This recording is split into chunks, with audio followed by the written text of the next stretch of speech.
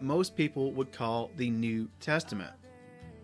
Now we do the Torah portion, the Haftorah portion, and the Brit Hadashah portion because if nothing else, the Word of God or the Word of Yahweh is more important to do than anything else. So we definitely make sure to do that every week that we have service. Then we get into the drosh or the teaching for the night.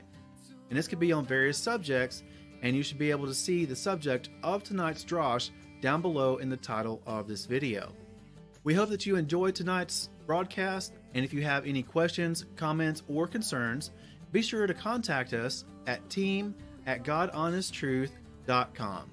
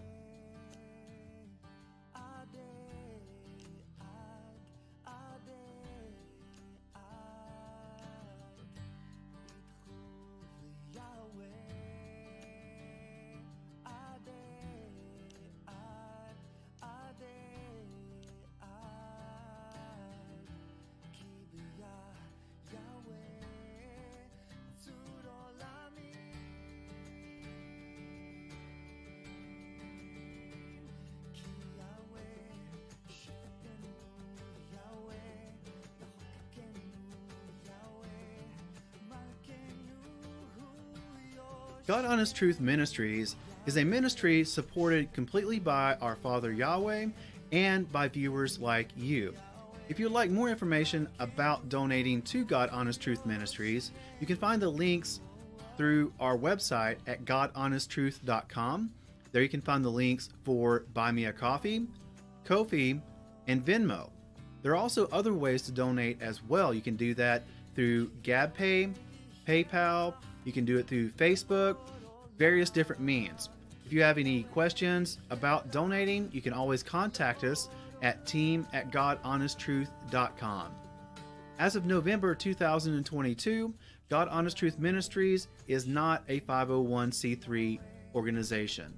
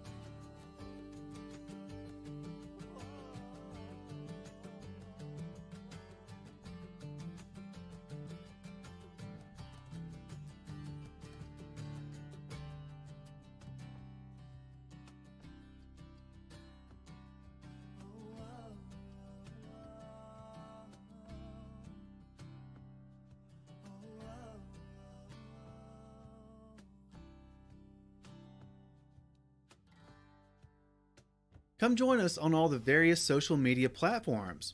Come like and follow us on Facebook, on Twitter, on Truth Social, on Parler, on Gab. Wherever you happen to be, we're probably there also. And you can find all the links to our social media profiles on our website at www.godhonesttruth.com.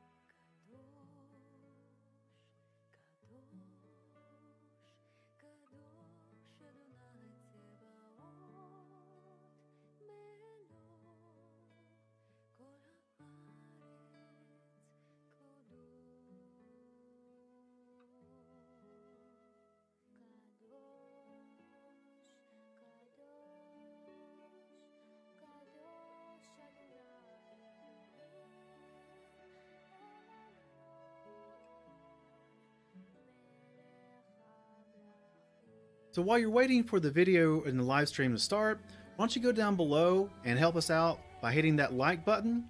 Also hit that subscribe button as well as ring the bell so that you're notified every time that we go live or upload an on-demand video. Hit that share button and share tonight's stream around with your friends, family, co-workers, or who have you. And also go down below and leave us a comment. Say hi, Shabbat Shalom, or what have you, because we always love hearing from you.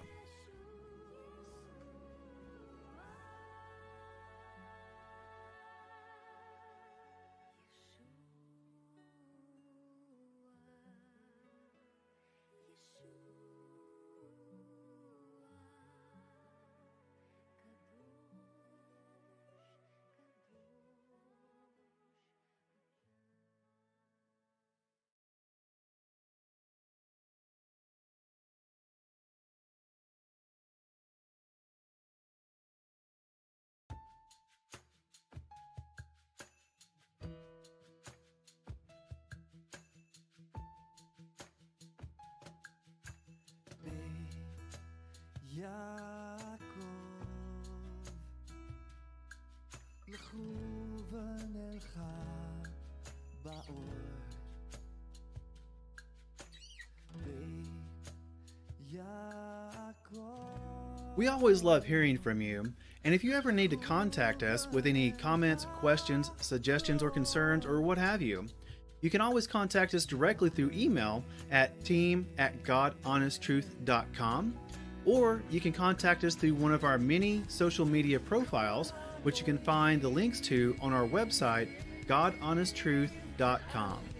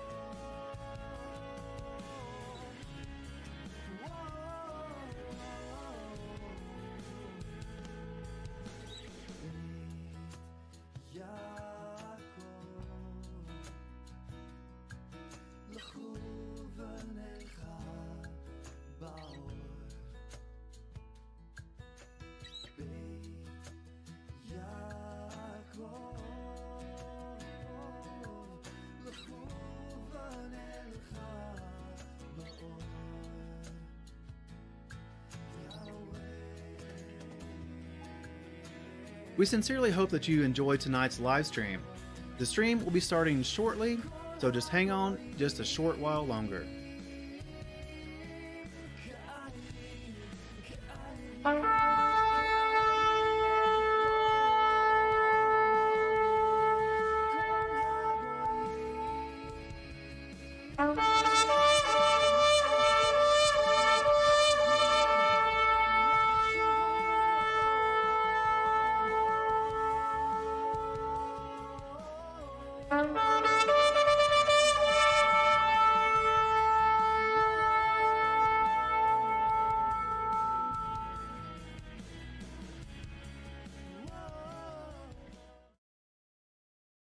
Shabbat Shalom, everyone. Welcome back to another edition of God Honest Truth Livestream. We are God Honest Truth, and we are a messianic ministry based out of Western North Carolina. If you'd like to find out more about us, please go to www.godhonesttruth.com. There you can find all the information about the ministry. You can find resources to help you in your understanding and learning of Hebrew. You can find audio Bibles and so much more. You can also find ways to contact us, whether that be through social media profiles, where you can find all the links on our website, or the best way to contact us is directly through email at team at godhonesttruth.com. Now, tonight's Drosh comes with a little bit of a warning. Tonight's Drosh is going to be all about traditions.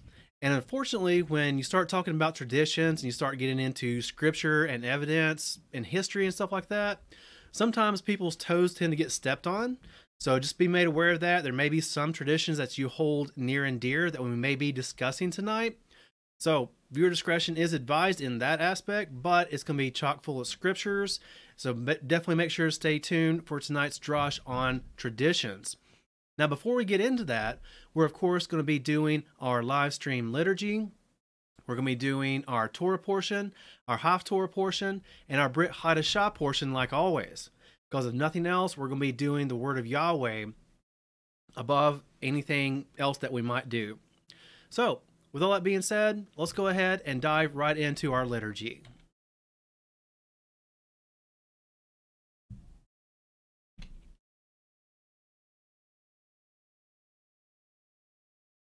Kol balevav panimam nefesh Yehudi homiyam ufate misrag kadimam ayin lezion sophiyam. O lo avdav tikvatenu. Atikva bashnot alpaim Lahiotam kovshi Behartenu Eretz Zion Verushalayim Lahiotam kovshi Behartenu Eretz Zion Verushalayim.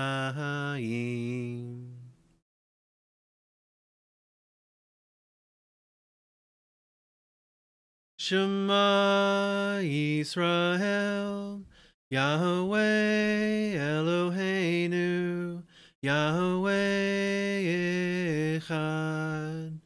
Baruch Shem Kevod, Malhuto, Leolam Vayed. Hear, O Israel, the Lord our God, the Lord is one. Blessed be his name, whose glorious kingdom is for eternity. And you shall love the Lord your God with all your heart, with all your soul, and with all your might. And have these words which I command you this day be upon your heart.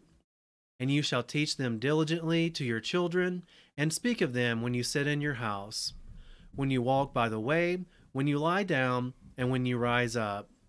And you shall bind them for a sign upon your hand, and let them be frontlets between your eyes. And you shall write them on the doorpost of your house and upon your gates.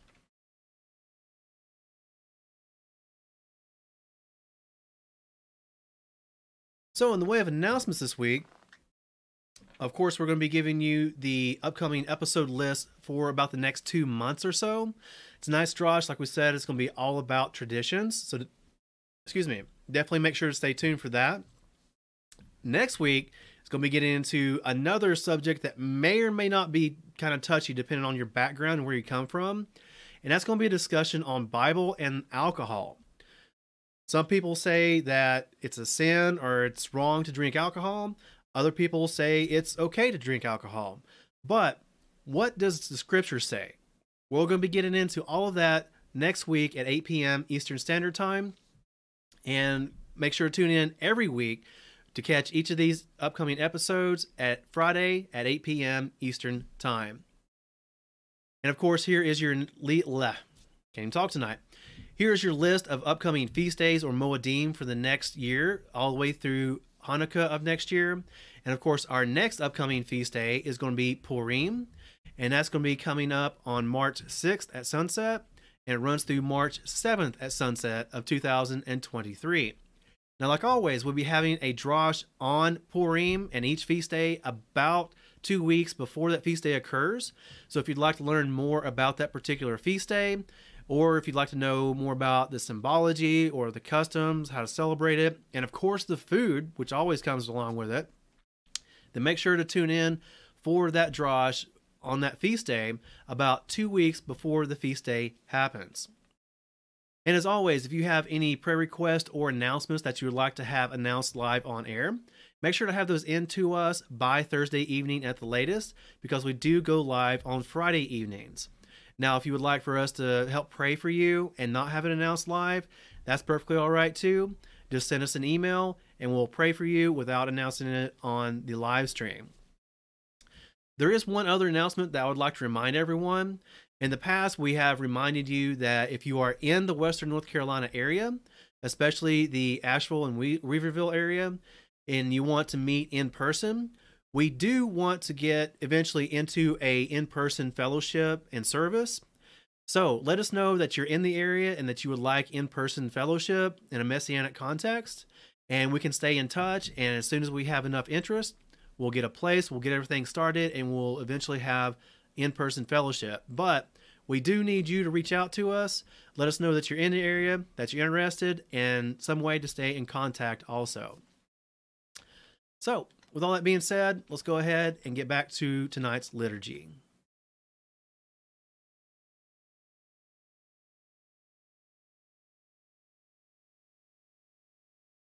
Blessed are you, O Lord our God, who has given us the way of salvation in Messiah Yeshua.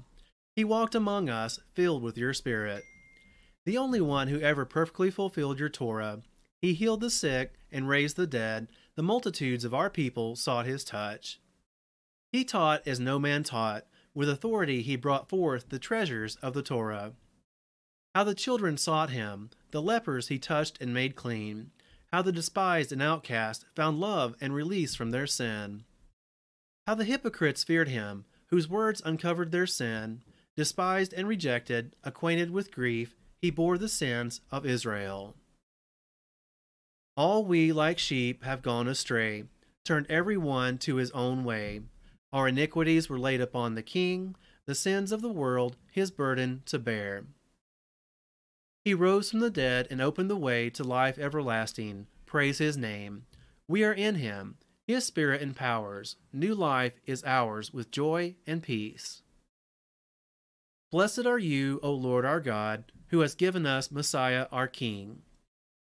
For the sake of our Master Yeshua and his merit and virtues, may the sayings of my mouth and the meditation of my heart be favorable before you, O Lord, my rock and my redeemer. Amen.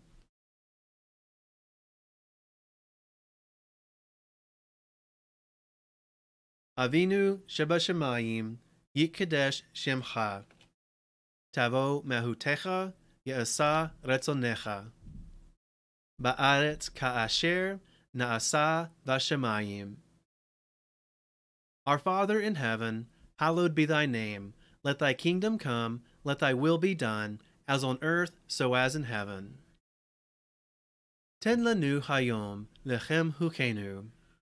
Usalach lanu, erashmatenu ka asher. So lechem anachnu, la asher ashmulanu. Give us this day our daily bread, and forgive us our trespasses, as we forgive those who trespass against us. Ve'al tevienu lidei masa, ki im hatzilenu min hara. Ki lecha, hamamlecha, v'hagavora, v'hatifaret, la'olame olamim. And lead us not into temptation, but deliver us from evil.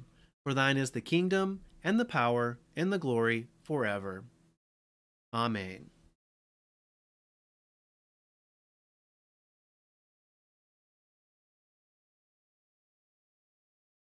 None can compare to you, O Lord, and nothing compares to your creation. Your kingdom is an everlasting kingdom, your mercy endures throughout all generations. The Lord is king, the Lord was king, the Lord shall be king throughout all time. May the Lord grant his people mercy, may the Lord bless his people with peace. Proclaim the Lord's greatness with me, let us exalt him together. And it came to pass, whenever the ark went forth, Moses would say, Arise, O Lord, and let your enemies be scattered. May those who hate you flee from before you. For from Zion shall go forth the Torah, and the word of the Lord from Jerusalem. Blessed be he who in holiness gave the Torah to his people Israel. All right, and tonight's Torah portion is going to be Exodus chapter 27, verse 20 through chapter 28, verse 43. And if you would like to follow along with us at home in your preferred translation, we'll give you just a moment to find your position in the scriptures.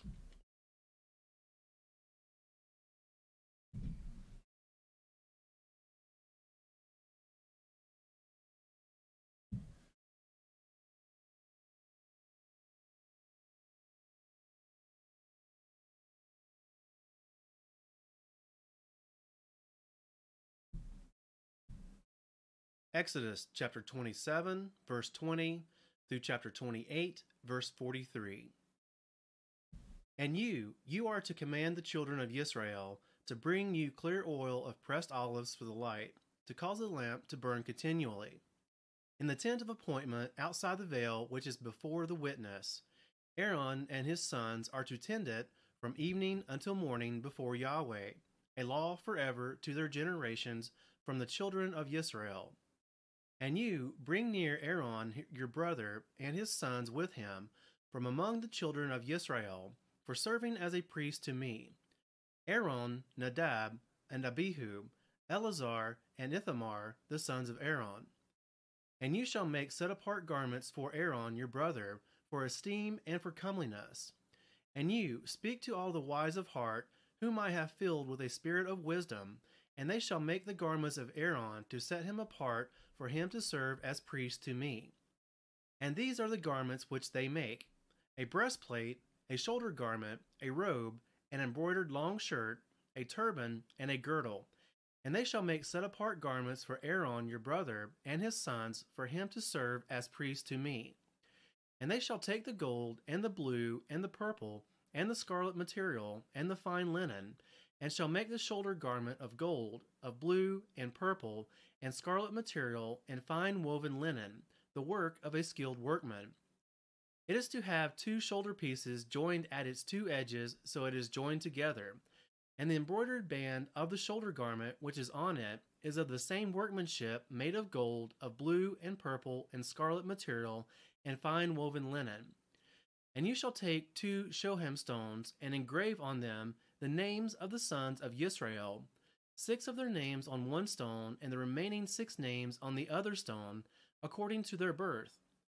With the work of an engraver in stone, like the engravings of a signet, engrave the two stones with the names of the sons of Israel. Set them in settings of gold, and you shall put the two stones on the shoulder pieces of the garment as stones of remembrance for the sons of Israel. And Aaron shall bear their names before Yahweh on his two shoulders for a remembrance. And you shall make settings of gold, and two chains of clean gold like braided cords, and fasten the braided chains to the settings. And you shall make a breastplate of right ruling, a work of a skilled workman, like the work of the shoulder garment. Make it of gold, of blue, and purple, and scarlet material, and fine woven linen. It is square, doubled, a span its length, and a span its width. And you shall put settings of stones in it, four rows of stones. The first row is a ruby, a topaz, and an emerald. The second row is a turquoise, a sapphire, and a diamond.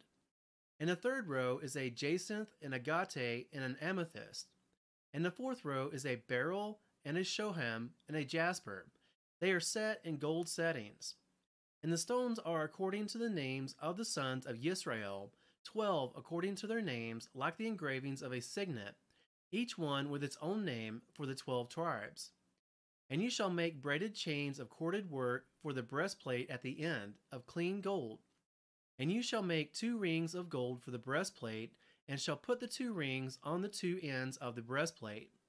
And you shall put the two cords of gold in the two rings which are on the ends of the breastplate. And the other two ends of the two cords you fasten to the two settings, and put them on the shoulder pieces of the shoulder garment in the front. And you shall make two gold, I'm sorry, and you shall make two rings of gold, and shall put them on the two ends of the breastplate on the edge of it, which is on the inner side of the shoulder garment.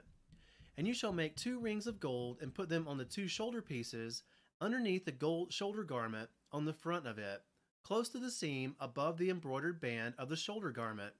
And they bind the breastplate by means of its rings to the rings of the shoulder garment, using a blue cord so that it is above the embroidered band of the shoulder garment, so that the breastplate does not come loose from the shoulder garment. And Aaron shall bear the names of the sons of Israel on the breastplate of right ruling over his heart when he goes into the set apart place for a remembrance before Yahweh continually. And into the breastplate of right ruling you shall put the Urim and the Tummim, and they shall be on the heart of Aaron when he goes in before Yahweh. And Aaron shall bear the right ruling of the children of Israel on his heart before Yahweh continually. And you shall make the robe of the shoulder garment all of blue, and the opening for its for his head shall be in the middle of it, a woven binding all around its opening, like the opening in a scaled armor, so that it does not tear. And on its hem you shall make pomegranates of blue and purple and scarlet material all around its hem, and bells of gold between them all around, a golden bell and a pomegranate, a golden bell and a pomegranate on the hem of the robe all around. And it shall be upon Aaron to attend in, and its sound shall be heard when he goes into the set apart place before Yahweh, and when he comes out, so that he does not die. And you shall make a plate of clean gold and engrave on it, like the engraving of a signet, set apartness to Yahweh. And you shall put it on a blue cord, and it shall be on the turban. It is to be on the front of the turban. And it shall be on the forehead of Aaron, and Aaron shall bear the guilt of the set apart gifts which the children of Israel set apart in all their set apart gifts. And it shall always be on his forehead for acceptance for them before Yahweh. And you shall weave the long shirt of fine linen, and shall make the turban of fine linen, and you shall make the girdle of woven work, and make long shirts for Aaron's sons, and you shall make girdles for them, and you shall make turbans for them, for esteem and comeliness. And you shall put on them on Aaron your brother, and on his sons with him, and shall anoint them, and shall ordain them, and shall set them apart, and they shall serve as priests to me. And make linen trousers for them, to cover their nakedness, reaching from the waist to the thighs. And they shall be on Aaron and on his sons when they come into the tent of appointment, or when they come near the slaughter place to attend in the set apart place, so that they do not bear crookedness and die. A law forever to him and to his seed after him.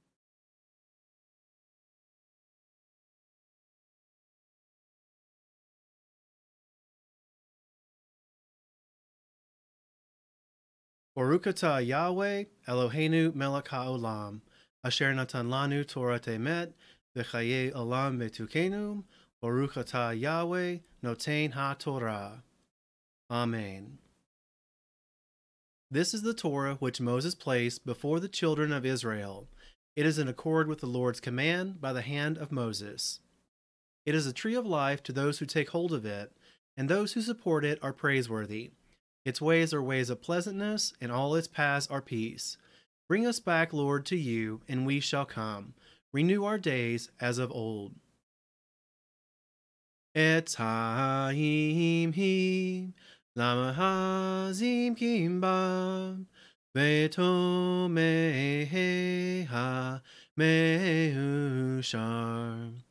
Deraheha he noam, vehonativoteha shalom.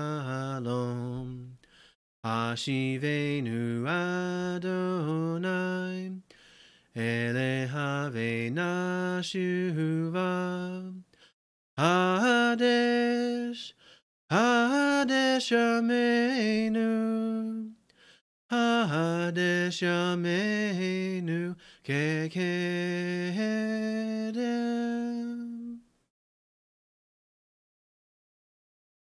Blessed are you, O Lord our God, King of the universe, who has chosen faithful prophets to speak words of truth.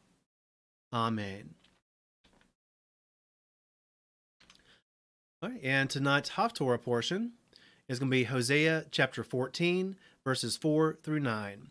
And once again, we'll give you just a moment to find that in your preferred translation at home if you would like to follow along with us.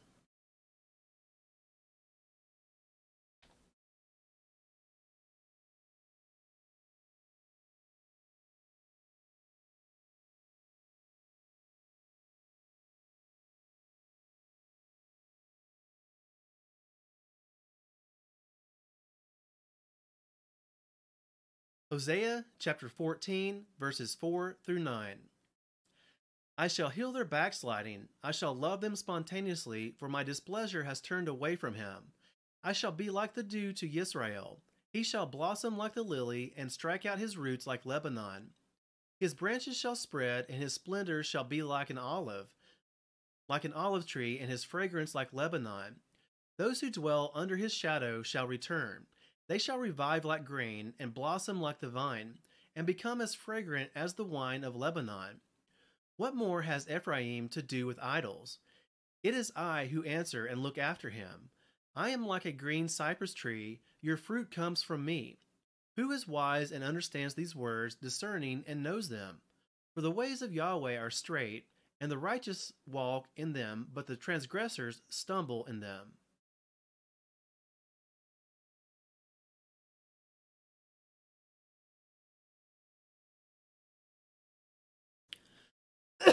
Excuse me. Blessed are you, O Lord our God, King of the universe, who has given us the living word in Messiah Yeshua. Blessed are you, O Lord, giver of the renewed covenant. Amen. And tonight's Brit Hadashah portion is going to be Hebrews chapter 4, verses 14 through 16. And one last time, we'll give you just a moment to find that in your preferred translation at home.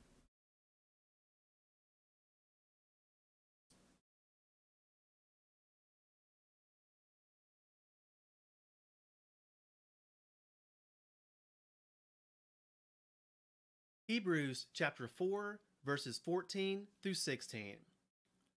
Therefore, since we have a great high priest who has passed through the heavens, Yeshua, the Son of Elohim, let us hold fast our confession.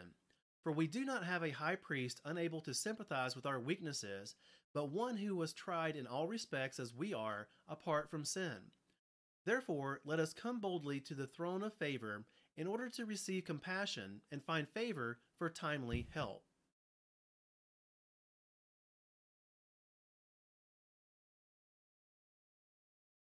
Baruch Yahweh Eloheinu melech haolam, asher natan lanu hadavar ha'emet v'chaye olam betukenu, Baruch atah Yahweh noten habrit chadashah. Blessed are you, O Lord our God, King of the universe, who gave to us the word of truth and planted life everlasting in our midst. Blessed are you, O Lord, giver of the renewed covenant. Amen. All right, so just a moment. We're going to take a slight break to check on our live streams.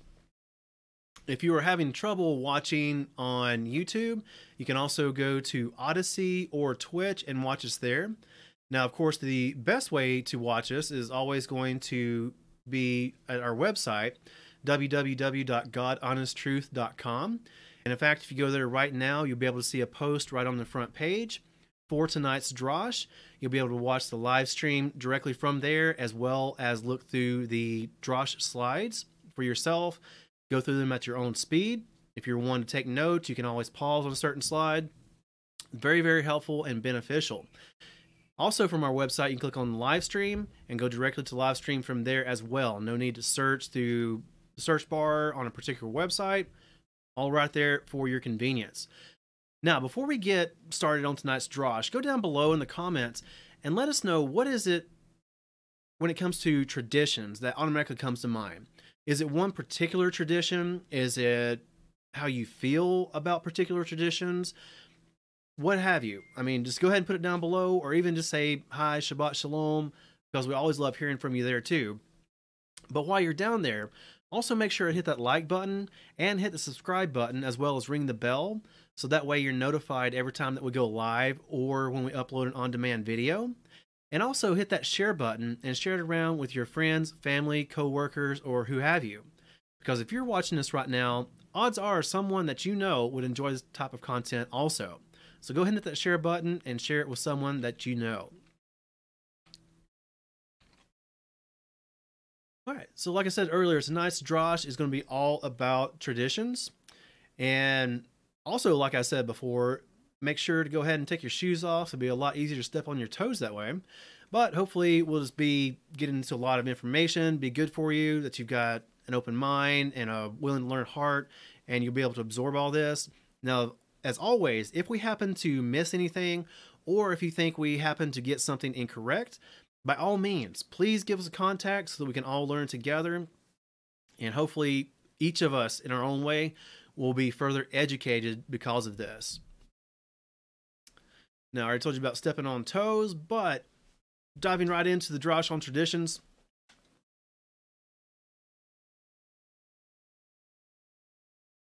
Traditions are something that we kind of implicitly know what they are, even if we can't define them or recite a textbook definition.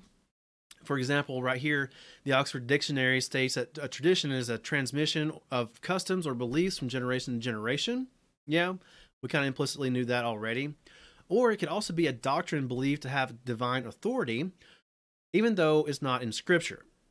Now, this is true regardless of what background you come from, whether it be a Jewish background, or if you're like me, you come from a Baptist background, or if you come from a Catholic background, Pentecostal background, etc., etc. We all come from some kind of background where there was a tradition that may or may not have been from Scripture. Now, that hits on another point. Traditions themselves are not bad. Okay, traditions can be good, they can be bad, or they can be neutral, actually. But in and of themselves, traditions are not bad. It really depends on where the traditions come from and what's involved in the tradition itself. If it's a tradi- uh, tradition that comes from scripture, then yeah, it's good. If it's a tradition that comes from paganism, then yeah, that's bad. However, if it doesn't come from paganism and it doesn't come from scripture, but scripture doesn't prohibit it, then it's more in the neutral territory, right? So, again, you just have to examine each tradition for itself to see whether or not it's good or bad. For example, here in the United States, we have a tradition of celebrating our Independence Day on July 4th. Now, that doesn't come from paganism, it doesn't come from Scripture, and it's not against Scripture. Scripture doesn't prohibit it, so it's more in the neutral territory. However, you get into something like Christmas, and that's a tradition that many people hold to, but it's a tr- tradition that comes from paganism. So that would make it a bad tradition. Now, for more information on that, go back and see the drosh we did on Christmas just a few weeks ago. Some more of the positive traditions we'll be getting into in just a moment. So hang on for that. But did you know that Scripture itself speaks both good and bad about traditions because traditions can be either good or bad? For instance, in Matthew 15:3, Yeshua says, Matthew 15:3, but Yeshua answering said to them, Why do you also transgress the command of Elohim because of your tradition? So the Pharisees had a tradition that was actually breaking and going against and transgressing a commandment of Yahweh. Can you think of something today that, you know, mainstream faiths might adhere to that is a tradition of theirs, but would transgress the commands of Yahweh? One I can think of offhand is the tradition of Sunday being the Sabbath. Now, that is a tradition held by mainstream Christianity that actually transgresses and breaks scripture because Yahweh told us in his scripture that the seventh day is the Sabbath, not the first. So we can see kind of how traditions are working there. Also, Mark 7 7 through 13. And in vain they do worship me, teaching as teachings the commands of men. Forsaking the command of Elohim, you hold fast the tradition of men. And he said to them, Well do you set aside the command of Elohim in order to guard your tradition, nullifying the word of Elohim through your tradition, which you have handed down, and many such traditions you do. Now, on the same line of thinking here with Yeshua, we've already mentioned Christmas and Sunday, but we can also throw in there a tradition like Easter, right? Easter is one of those things that is a tradition, but it comes from paganism, which transgresses or nullifies the word of Yahweh, which states, Do not follow after the pagans. Do not worship me in the way they worship their gods. Right? See how traditions can be bad at some instances? And scripture even talks about traditions being, or some traditions being bad, anyways. But not all traditions. Let's look at this Colossians 2 8. Paul writing here, he says, See to it that no one makes a prey of you through philosophy and empty deceit according to the tradition of man, according to the elementary matters of the world, and not according to Messiah. So Paul is warning us here not to be taken away by these traditions of men, that we can be deceived by them, even through philosophy in addition to these traditions. We have to examine each one and what it entails, where it came from, to see whether it is a good tradition, a bad tradition, or even maybe a neutral tradition. However, like we alluded to before, Scripture does not always speak bad about traditions. It even speaks positively sometimes about good traditions. For instance, 1 Corinthians 11:3, Paul writing to the church at Corinth, he says, "And I praise you, brothers, that you remember me in every way and keep the traditions as I delivered them to you." So Paul handed down some traditions to the church at Corinth and probably others as well. But nevertheless, he handed down certain traditions, and here he is advising them to keep the traditions that he handed down to them because he knew they were right and good. And being a well-taught Pharisee and a apostle, someone who was converted by Yeshua himself, he knew whether a tradition would be good or bad. And he handed these down to his various churches, including the church here at Corinth. Now, when examining these traditions, some of these traditions can cause us to sin, right? If they're a bad tradition, they can cause us to sin. However, make sure to keep in mind what a sin is. 1 John 3 4. Everyone doing sin also does lawlessness, and sin is lawlessness. So remember, sin is the breaking of the Torah, the breaking of Yahweh's commands. So if a tradition causes us to break one of Yahweh's commands, that tradition causes us to sin, which is one reason why we should examine the traditions that we hold to and know where they come from, what's involved with them, and where the customs that are involved with the traditions, where they come from as well. Because it could be causing us to sin. So, with all that base work laid out, let's go ahead and dive right into our first tradition here. And this is the tradition of Tzitzit. Now, you may be thinking, well, okay, hold on. We'll get into that in just a minute. Sorry, getting ahead of myself. But, anyways, Tzitzit are tassels, right? They're specially knotted tassels that you attach to your clothes, they're attached to garments. Uh, I've seen them hanging from rearview mirrors before too. But tzitzit shares its root word with the Hebrew for lock of hair. Now, if you're a nerd like me, the Strong's number for this is 6734, right? And it even says here in the Strong's uh, entry that it's a forelock of hair, a tassel, right? And if you've never seen a tzitzit before, this is one style of tzitzit, okay?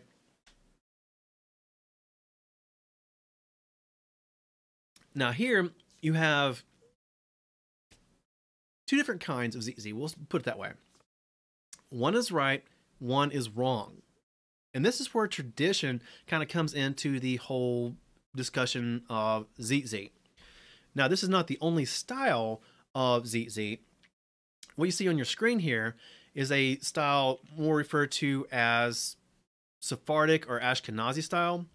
Recently, or the last time I made tzitzit for myself, I actually started doing a different style, and this is called um, more along the Karaite version. Now, these are easy to make, as such are the ones on your screen there are easy to make. And we've actually done a video on how to tie tzitzit, and the video we did was in the Sephardic or Ashkenazi style that you see on your screen there. If you are someone who would like to know how to tie these this style, the Karaite style, then please let us know and we'll be happy to make a video on how to tie these as well. These are just as easy as the other style to make. But we get the commandment for tzitzit straight from scripture. Numbers 15, 37 through 40. And Yahweh spoke to Moshe, saying, Speak to the children of Israel, and you shall say to them to make tzitzit on the corners of their garments throughout their generations, and to put a blue cord in the tzitzit of the corners. And it shall be to you for a tzitzit, and you shall see it, and shall remember all the commands of Yahweh, and excuse me, and shall do them, and not search after your own heart and your own eyes after which you went whoring, so that you remember and shall do all my commands and be set apart unto your Elohim. Now, notice a couple of different things here. Number one, it says, Speak to the children of Israel. Remember that because we're going to be getting into that in just a moment. so set that aside, put it on the back burner, let it simmer. But speak to the children of Israel. Also, it says, Make tzitzit on the corners of their garments. Now, in some translation, it says, Put tzitzit on the borders of their garments. Okay? A lot of people, including myself, we do four tzitzit. All right? But there's really no certain number given here. And that's one important thing to remember. Scripture does not define the number of tzitzit that you're supposed to be wearing, right? It could be two, five, thirty. You know, as long as you're wearing them, you're keeping with the commandment. But the number of tzitzit you have on is rather irrelevant when it comes to what Scripture lays out. Another thing, later on it says to put a blue cord in the tzitzit of the corners. So in each of the tzitzit, there's supposed to be a blue cord. Let's go back and look at the previous picture. Here you see, like I said, one that's wrong, one that's right.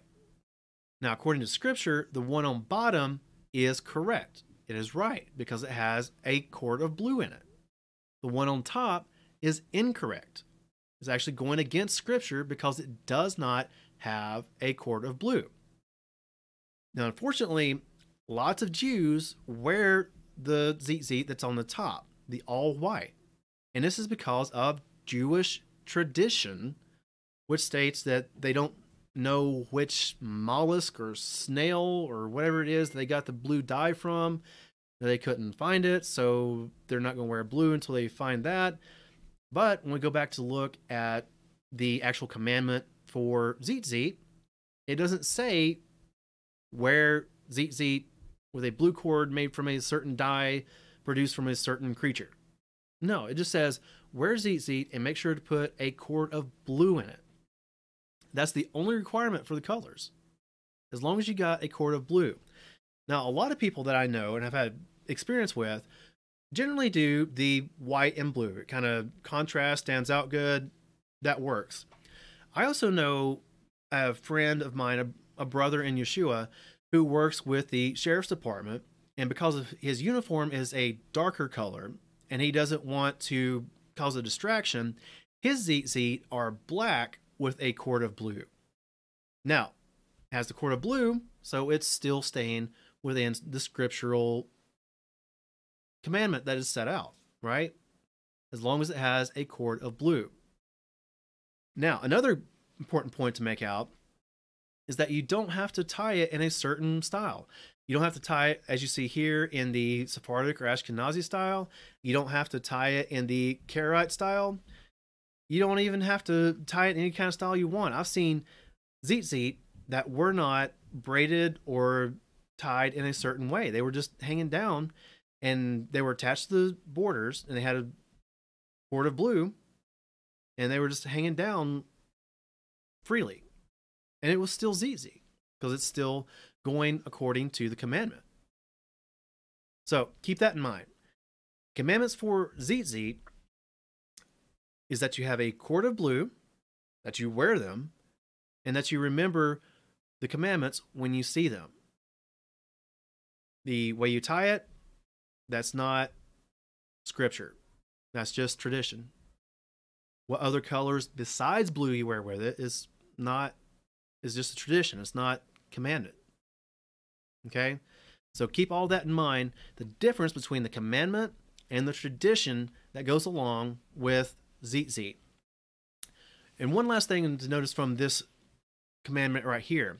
Not only do we get the commandment for wearing tzitzit, but we also get the reason for why we have the commandment for tzitzit. You know, sometimes we get commandments like don't eat pork. Okay, why don't we eat pork? What's wrong with that? Well, don't eat pork. We just get the commandment don't eat pork, but we're not told why.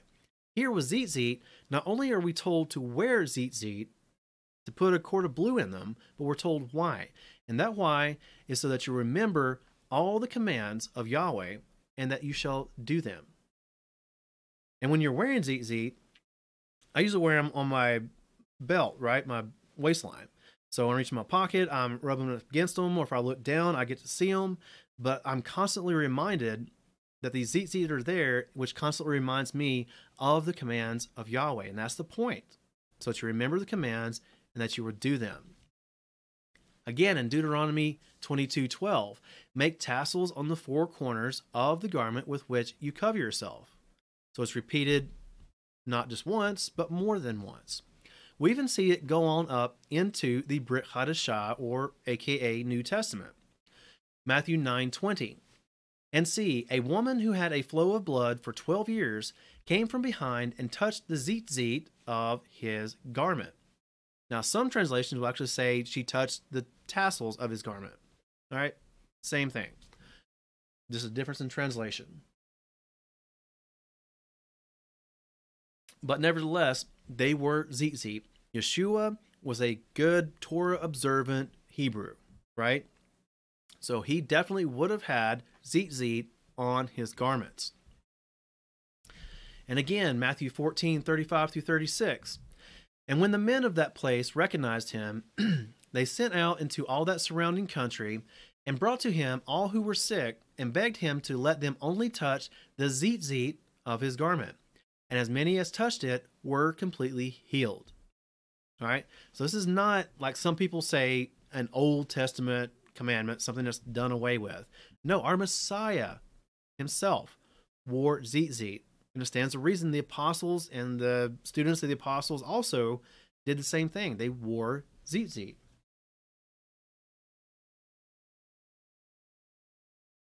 It's a commandment forever throughout their generations, like we just saw. Now, funny thing is, some of the very people, some of the more mainstream churches, will say that the Old Testament and things like tzitzit have been done away with, but they'll do something very similar on their own. Remember a few years ago, there was this fad going around. They would have bracelets or necklaces or shirts or hats or something, but they would say WWJD. What would Jesus do? Right? And it was supposed to make you think of Jesus and remember what he would do. Okay, well, scripture already had something like that. They're called tzitzit. Okay? Yeshua would have done Torah.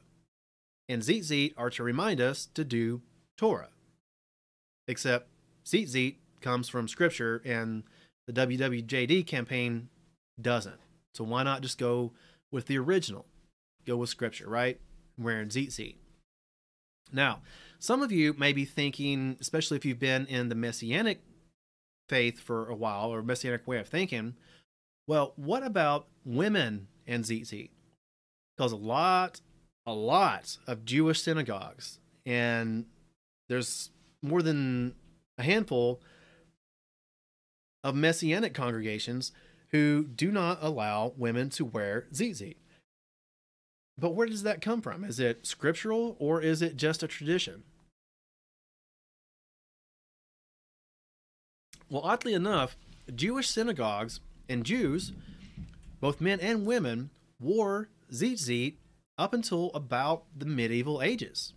Oddly enough, you may not think of it nowadays, but at one point in history, women actually did wear tzitzit. And up until the medieval period, it was allowed for women to wear tzitzit. However, certain Orthodox rabbis in the medieval period started prohibiting women from wearing tzitzit, except when maybe in private when they're home. Okay? But it's not always been prohibited for women to wear tzitzit. And even now, there are some Messianic congregations who are waking up to the truth that it's okay for women to wear tzitzit. But where did this prohibition come from? Let's look again at the commandment for tzitzit. Numbers 15, 37 through 40. In just the beginning, it says, And Yahweh spoke to Moshe, saying, Speak to the children of Israel, and you shall tell them to make tzitzit. Right? The word to focus on here is the word children. In, I'm sorry, the phrase children of Israel. In the Hebrew, it says Bnei Yisrael. Okay? Which literally translated means sons of Israel. Now, before we get into that, let's look real quick. Here's a mosaic from about the 1400s of a Jewish service.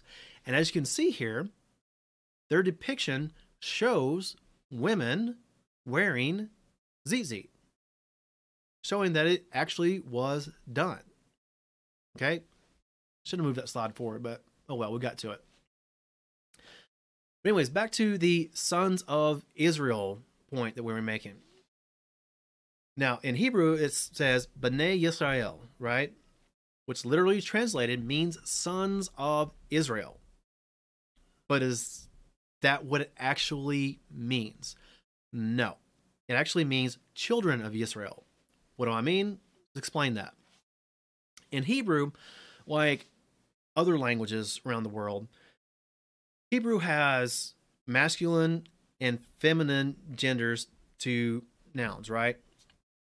And a male would be masculine, a female would be feminine, of course. So if you would have 30 men, it would be B'nai, sons, right? But if you would have 30 women, it would be daughters. However, if you had 29 females and only one male, it would revert back to the masculine because of that one male. That group of 29 females and one male would revert back to the masculine because of that one male and it would be B'nai or sons. And that's the context that we're seeing here in Scripture. Because we know all of Israel wasn't just made up of men. Obviously not, right? There was women in there too. But since there were men in the group, obviously, then reverts back to the masculine. So even though it says sons of Israel, the context means all of Israel, the children of Israel, right? All the people of Israel. So that's where it comes from because some translations actually do the literal translation and say sons of Israel. But the context, and if you're someone who's learning Hebrew, keep in mind that context is king with Hebrew. You have to take just about everything into context. Take it out of context, and you're going to get the wrong idea. You get the wrong meaning, get the wrong translation, get the wrong understanding. So definitely remember that Hebrew is heavy on context. And so for this here, now if you're someone who likes to study like me, the Hebrew word b'nai is the Strong's H1121. and also, if you see here on this slide, you see how it's translated within the King James translation. It's translated as son, children, old first man, young, young, child, stranger people, miscellaneous. But you can see it also includes a mixed group like children or people. So speaking to the children of Israel, speaking to the people of Israel, a group that includes all the people, including both men and women.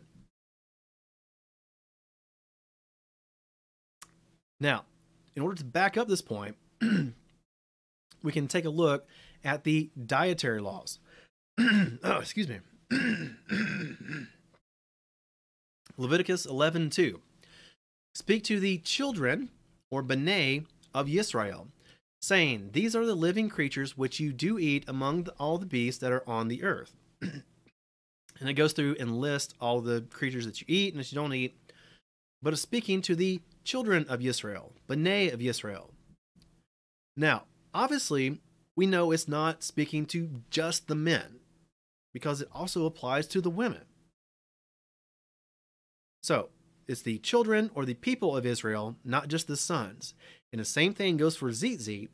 It's for the children or the people of Israel, not just the men.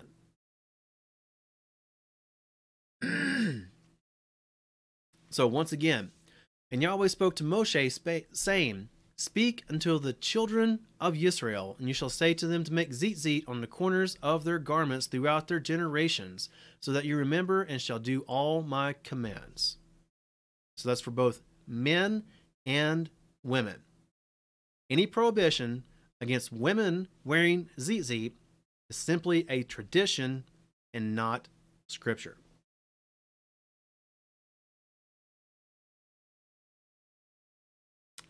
So now we're going to get into the tradition of the Talit, because this kind of ties in with Tzitzit.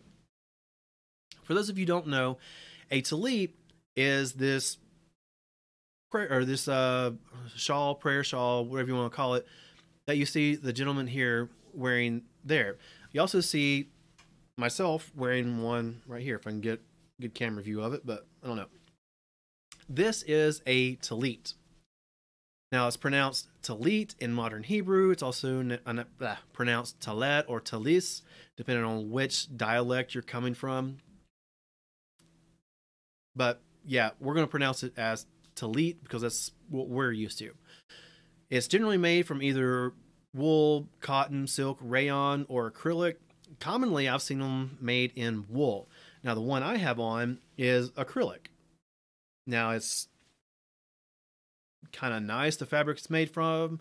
It's rather hard to wash, I found, so maybe wool would be better in that regards, but there you go. You can get it in various different fabrics. But there's typically two different kinds of talit. You have the small talit, which is called the talit katan, and then you have a larger talit, which is called a talit gadol. Now, some of the talit katans are wore underneath a typically Jewish person's outer shirt. And if you watch anyone, especially like videos from Israel, you'll see like a almost like an undershirt hanging down from their outer shirt with talit or tzitzit hanging off of them. That is a talit katan. Now the talit gadol is a lot of times used for wedding um, ceremonies as a huppah it's used, I've seen it in some of the messianic services I've been a part of. We spread out a talit gadol over the children when we bless the children, all sorts of things. But you typically have two different kinds of talits the talit katan, talit gadol, a smaller one and a larger one. Talit is actually from an Aramaic word, which meaning which means cover. Okay, and you'll see this in practice a lot of times when people are praying or reading Torah or something like that. They'll have the talit draped up over their head, right? Usually not with that uh, hat on, but you know. Anyways, they'll have it draped over their head, and they will be covering their head. Now, now I won't get into that, but literally, talit means a covering or something like a cloak or something. But nowadays and for a long time now, it's already been understood that a talit is a prayer shawl or something wear during service like this. And like we said earlier, talit is also used in wedding ceremonies as a wedding camp- canopy or huppah. And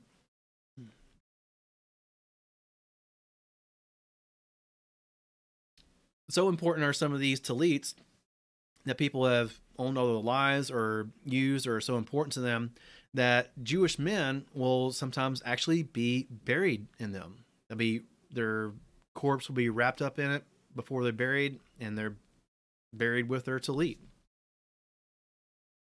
However, talit is just a tradition. It's not a commandment that comes from Scripture. Scripture does not tell us to wear a talit. It does not command us to. However, it doesn't prohibit us either. So it falls more into a neutral tradition than either a good or a bad. You know, if you want to put things black and white that way.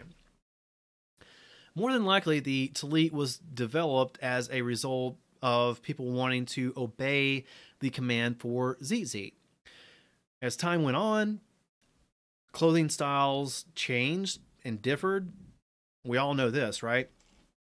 So when we got clothing styles that weren't hanging down off of us, where we could, you know, hang tzitzit off the bottom of it, then they thought they needed something in order to take that place where they could display tzitzit and stuff like that. So henceforth, the tallit came forth. But once again, it's not a commandment from Scripture, nor is it prohibited by Scripture. However, let's look in Matthew 9 20 and see a woman who had a flow of blood for 12 years came from behind and touched the tzitzit of his garment. Now, what was this garment?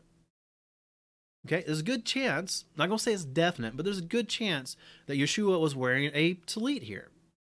Okay, clothing styles back then probably still would have allowed for the hanging of tzitzit like they did back in Moshe's time, but there's also a good chance that he could have been wearing a tallit as well.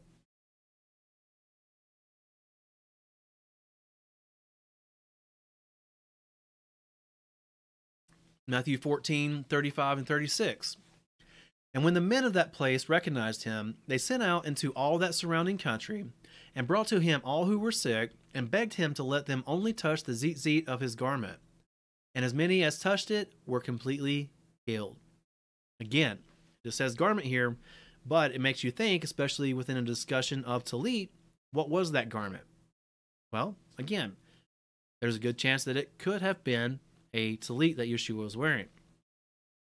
However, even though the wearing of a Talit is not commanded by Scripture, nor is it prohibited by Scripture, there is some ways and some things that people do that can put it into the area of bad tradition. And here's what I mean. Here's a blessing or prayer that some people, both Jewish and Messianic, say sometimes. This is the donning the Talit.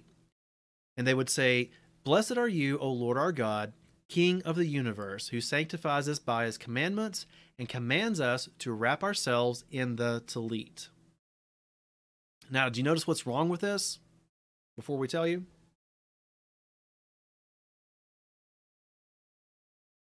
That last line right there that says, commands us to wrap ourselves in the talit. Okay? I've looked far and wide throughout Scripture. Okay? I cannot find any command for talit. I've done research, I've asked people. No one knows of a command in Scripture that we are to wear the talit. So therefore, this prayer or this blessing or whatever it is that says commands us to wrap ourselves in the talit is actually adding to scripture because everything that we are commanded to do is in scripture. And if he didn't command us to do it in scripture, then saying he did is adding to scripture. Deuteronomy 4 2. Do not add to the word which I command you, and do not take away from it, so as to guard the commands of Yahweh your Elohim, which I am commanding you. Deuteronomy 12:32. All the words I am commanding you, guard to do it, do not add to it nor take away from it. Proverbs 30:5 through 6. For every word of Eloah is tried. He is a shield to those taking refuge in him. Do not add to his words, lest he reprove you and you be found a liar. So again, he tells us not to add to the scriptures and saying that he commands us to do something that he did not command us to do is adding to the scriptures. And fortunately, a lot of messianic congregations, a lot of messianic people are waking up to this fact, specifically regarding this donning of the Talit prayer or blessing. And they're doing away with it. They're just not even saying it anymore. Good for them. Okay. And we definitely don't do it here for that very reason. We don't want to add to Scripture. So, once again, we now get into the question of what about women wearing talit? Okay, you could probably already answered this by this point, but we'll go over it anyways. Lots of Jewish synagogues and more than one Messianic synagogue will tell you that women are not allowed to wear tallits. Okay? However, we get back into the history of the tzitzit because historically speaking, women wore tallit all the way up through about the Middle Ages. And it was started somewhere about the I'm sorry, medieval ages. Somewhere about the medieval age, there started being prohibitions against women wearing tallits. And why is this? Probably because of the same prohibition against women wearing tzitzit. But again, since scripture doesn't command or prohibit tallit, there's no real scriptural basis for prohibiting women from wearing tallit. And once again, we look back at that old mosaic of a Jewish service coming from about the 1400s. And not only do you see women wearing tzitzit, but you also see women wearing tallits as well. So, again, just like with tzitzit, if you're a woman and you want to wear a tallit and a tzitzit, go for it. You're not doing anything wrong. Maybe you're going against someone's tradition, but you're definitely not going against scripture. And that's all you should be concerned about at the end of the day, anyways. And here at God Honest Truth, if you want to, you know, come and hang out and fellowship and you're a woman and you want to have Talit and Tzitzit, go for it. The more, the merrier, we always say. And I found this and thought it was just a beautiful picture of a woman in prayer wearing Talit. And you can't see it, but most likely there's Tzitzit on the bottom of that Talit as well.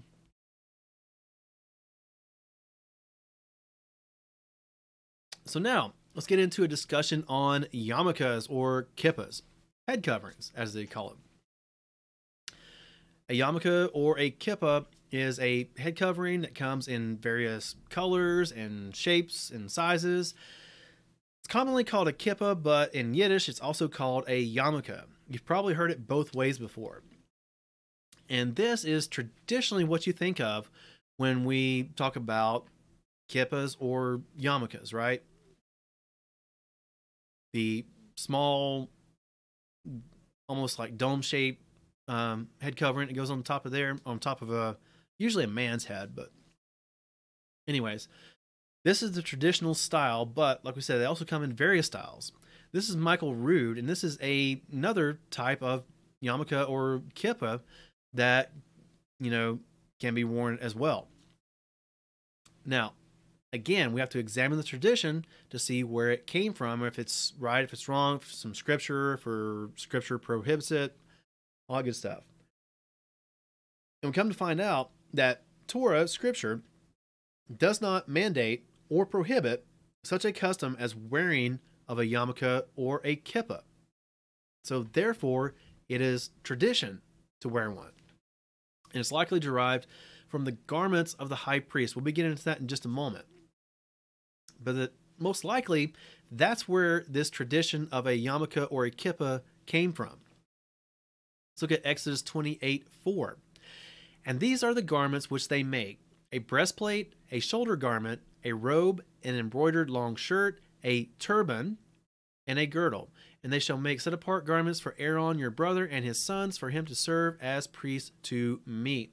That turban is the head covering we're specifically talking about and the high priest was to wear what was just described in scripture, including the turban or the head covering. And this is likely where the tradition of yarmulkes or kippas came from, even though the majority of people who wear them are not high priests.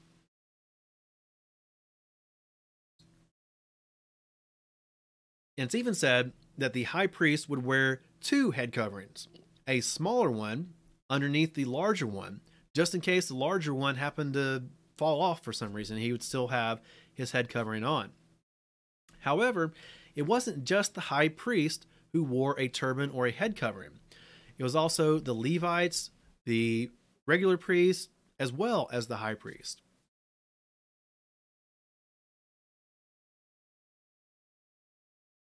And in addition to the priesthood, we also see other people wearing head coverings also. Take for instance David. 2 Samuel 15:30. And David went up by the ascent of the Mount of Olives and wept as he went up, and he had his head covered and went barefoot, and all the people who were with him covered their heads and went up weeping as they went. So it's not just the priests wearing head coverings, it's also the king of Israel and the people who are going with him. Now, if you come from a mainstream Christian background like I did, you may be thinking to yourself, well, what about what Paul said in 1 Corinthians? Okay, let's check that out real quick.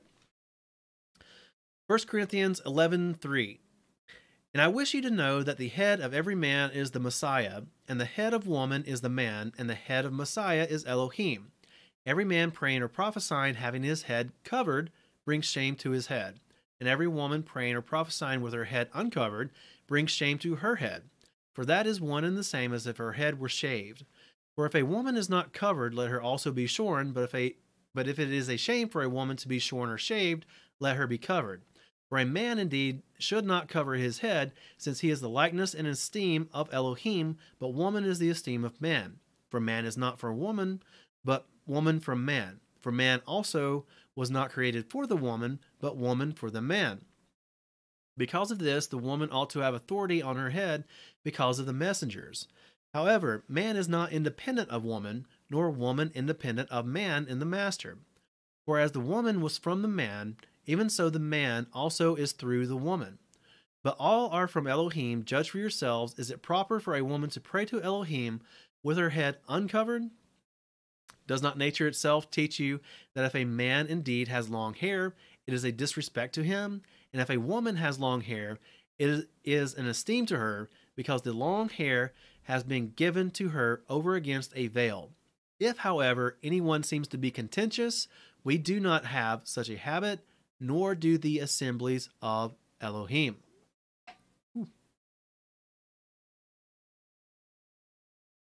And that's what a lot of people will bring up when we talk about wearing of a head covering. If we go back to the beginning there,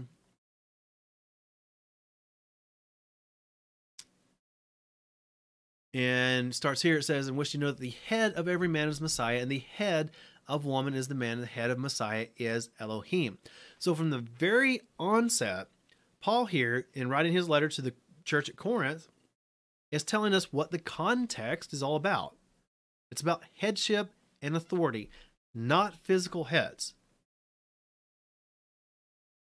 tracking now just like he goes on to keep talking about authority and that a woman ought to have authority on her head, etc., etc. Right? And if a man has any other authority as his head other than Yeshua, then it brings shame to him. And that's the whole context we're talking about here. It's talking about headship and authority. And even um, here in this last slide, it says, Does not nature itself teach you that if a man indeed has long hair, is a disrespect to him? Okay, it was actually talking about literal heads and literal hair. What does that even mean?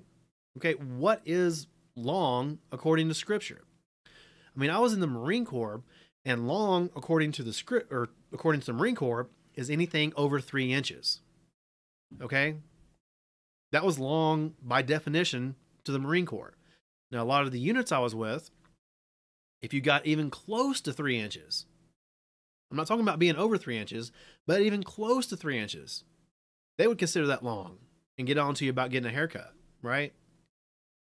So, what does long even mean if it's actually talking about physical, literal heads and physical, literal hair? Okay, we've got to take it all into context. And keeping it all into context, here's some things to keep in mind. Number one, Paul is writing a letter to the church at Corinth. Okay, there are things we can learn from this, most definitely, but this is a letter to the church at Corinth. Let's also keep in mind some characters or some people from Scripture itself.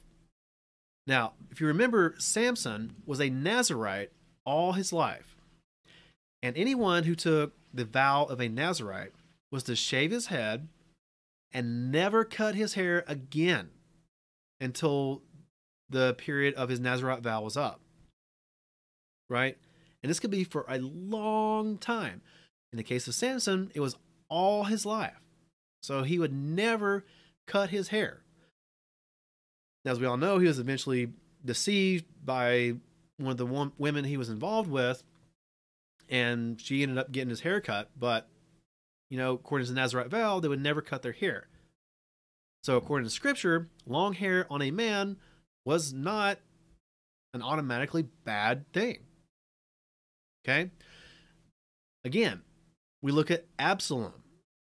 Also, it talks about Absalom having long hair, and when he would cut his hair, they would actually weigh it, and it would be very, very heavy at the end of every year when he cut it. And they would talk about Absalom being one of the most handsome people in all of the kingdom, right? In all of Israel. But he had long hair. Ended up, his long hair got him killed because he got tangled and he got hung in it. But, you know, it never comes against Absalom for having long hair. And he was considered attractive, including his long hair, right? Now, like we said, also, long hair isn't defined in Scripture. So if we're taking it physically and literally, instead of the context that Paul was talking about, how do we define long hair, right? Oh, just went over Nazarites. Another important point, uh, important point to make is that Paul himself actually took a Nazarite vow as well. There were some false witnesses who came against Paul, saying that Paul taught against the Torah of Moses. And in order to disprove that, Paul took a vow of the Nazarite. Let's look at this 2 Samuel 14 25 through 26. And in all Israel, there was no one who was praised as much as Absalom for his handsomeness. From the sole of his foot to the crown of his head, there was no blemish in him. And when he cut the hair of his head, for it was at every year's end that he cut it, because it was heavy on him. When he cut it, he weighed the hair of his head at 200 shekels by the sovereign's weight. Now, I admittedly don't know how heavy a shekel is, but if you got 200 of them, that would be pretty heavy, I would assume, right? And that's how much his ha- hair weighed when he cut it once a year. It would weigh 200 shekels worth of weight.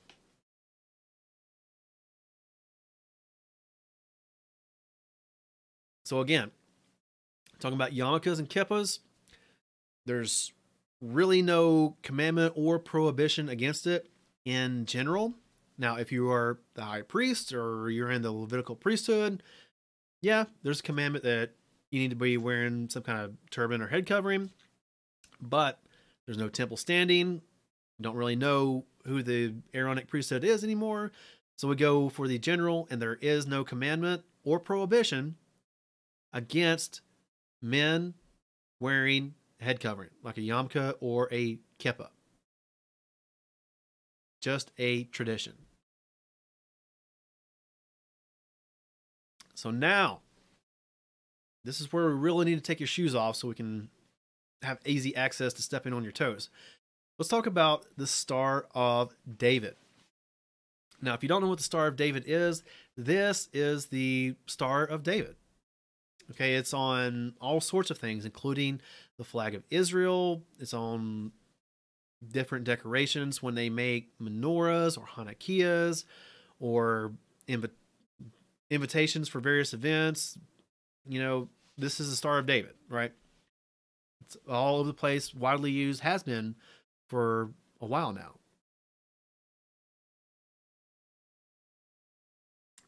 It's sometimes called the Magen David, sometimes called the Shield of David, rarely sometimes called the Seal of Solomon, but that's just in Islam, so you know, take it for what it's worth.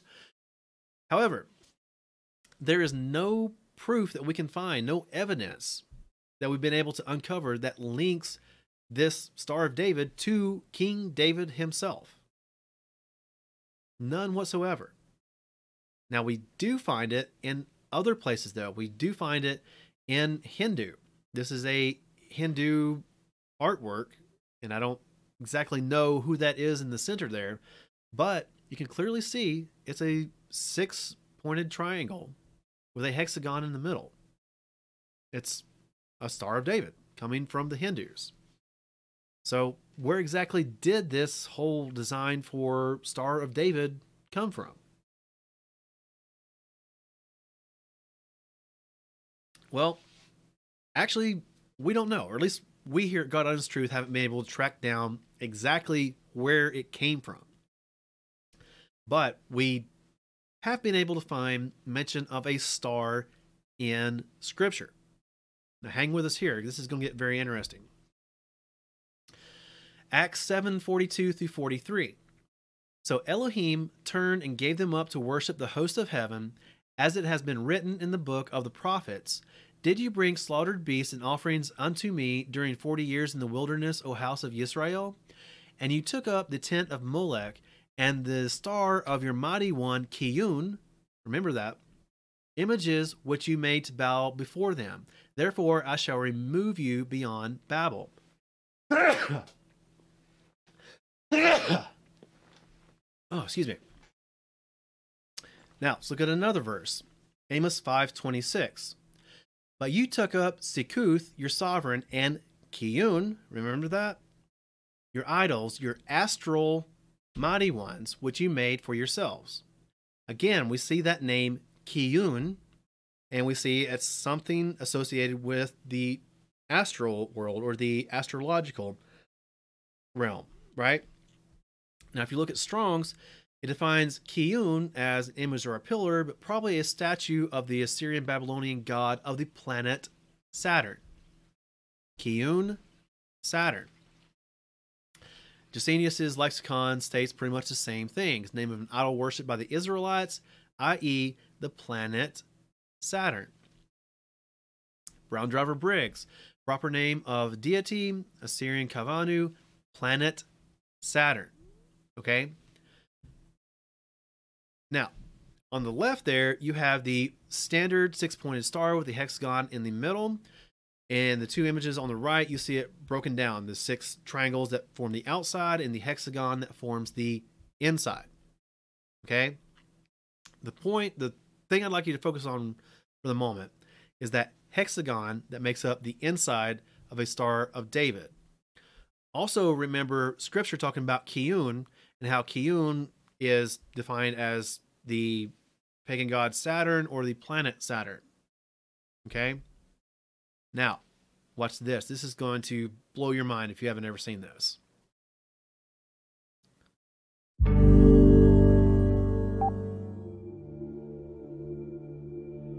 It's springtime on Saturn, and the hexagon is out. A perfect six sided hurricane, 60 miles deep, that could swallow four Earths. It's ringed by winds of ammonia and hydrogen blowing 220 miles an hour.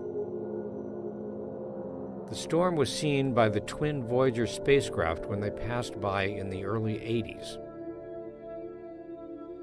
That was the last time until recently that sunlight graced the North Pole of Saturn, which takes 30 of our years to make one circuit of the Sun. Soon after the Voyagers departed, winter descended. Saturn's rings tipped away from us, plunging the North Pole into 15 years of darkness. Without sunlight, astronomers were limited to infrared images. They showed the hexagon was still there. But what is it? The hexagon is a narrow jet stream that circles the North Pole. Researchers think that friction with the slower clouds on either side of it creates eddies, mini storms that push the jet stream into a wave like shape as it goes around. By spinning columns of water at different speeds, scientists have been able to reproduce the six sided pattern in the lab. In January of 2009, the Sun began its slow rise in Saturn's north. Summer was coming, the Cassini spacecraft was there to see it. In the coming months, Cassini will slip between Saturn and its rings to pass right over the storm for a closer look. But that's not all there is to see up north. Saturn has an aurora, its own version of the northern lights, a ring of electrical fire guided by the planet's magnetic field. Rings of ice and a dancing ribbon of aurora sitting smack on top of a six sided hurricane. Another jewel in the crown of the solar system's most photogenic planet, where the voyage and the discoveries go on.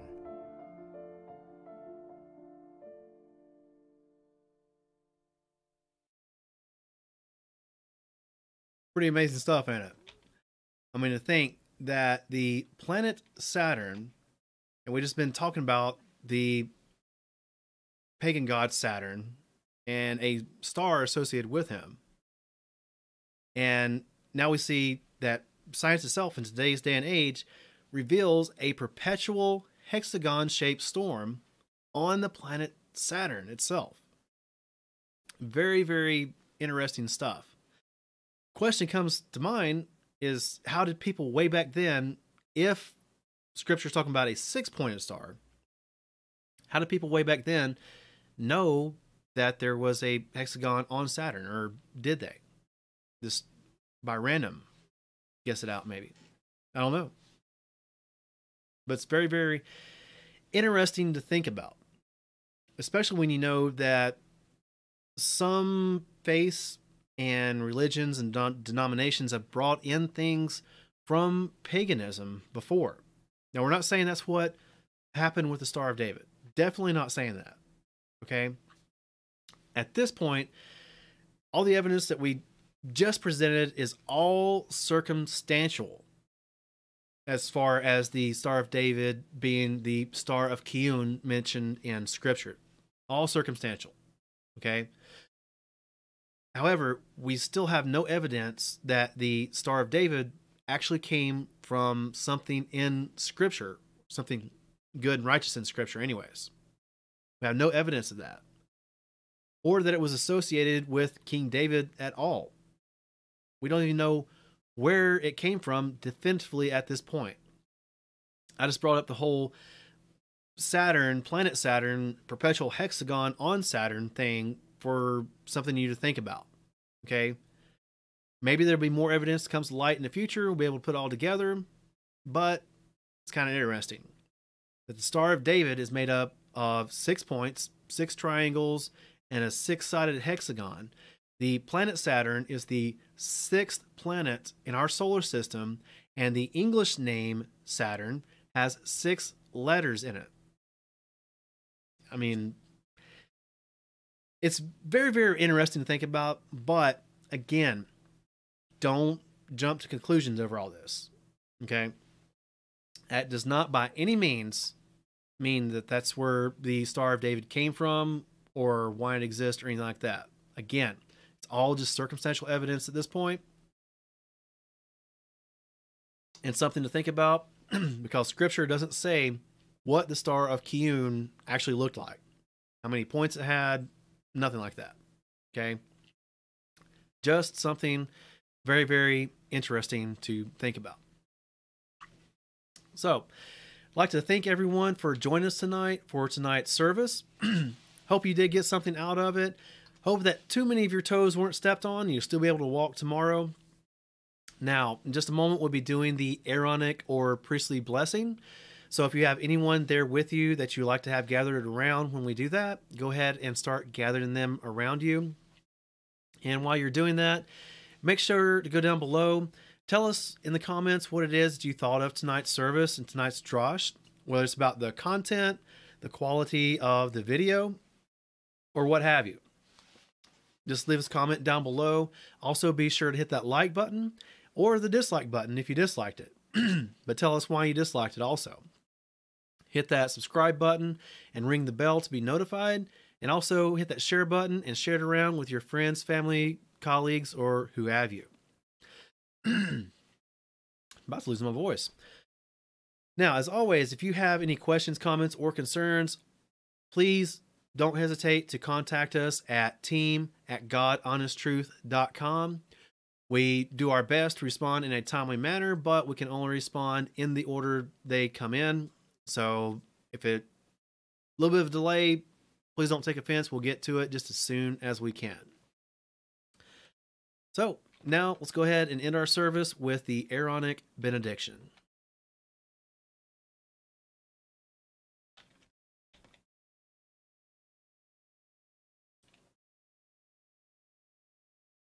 Yivarikaka Yahweh, Vayishmerecha. Yair Yahweh panav elecha, vihunecha.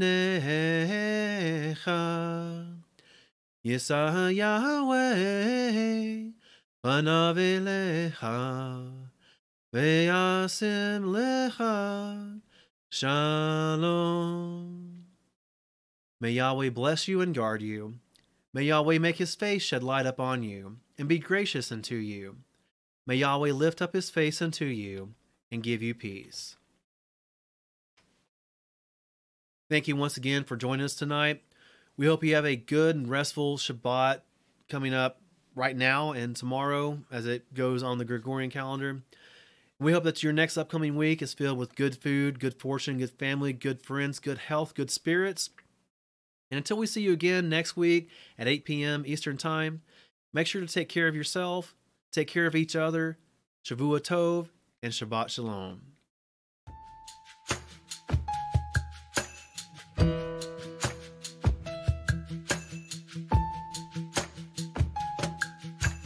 בית יעקב לכו ונלכה באור בית יעקב לכו ונלכה